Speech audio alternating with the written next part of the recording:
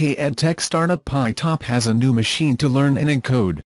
It is another laptop with a modular Raspberry Pi processor, but this time it has reduced the number of steps needed to put it together, as well as adding a sliding keyboard designed so the QWERTY panel can be removed to provide access to a mounting rail and touch-ups with the electronic.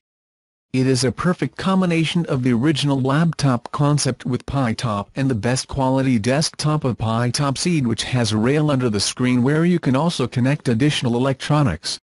The $150 price tag on this latest device has made it a popular choice for coded schools and clubs that want a kit for STEM purposes depending on the start.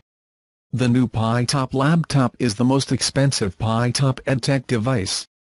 At a price of $319 with a Raspberry Pi 3 or $284.99 without. But it comes bundled with what the startup calls an inventor kit, essentially a pre-compiled selection of electronic components to enable a wide range of DIY hardware projects. The projects he says can be built using this kit included a music synthesizer and the robot.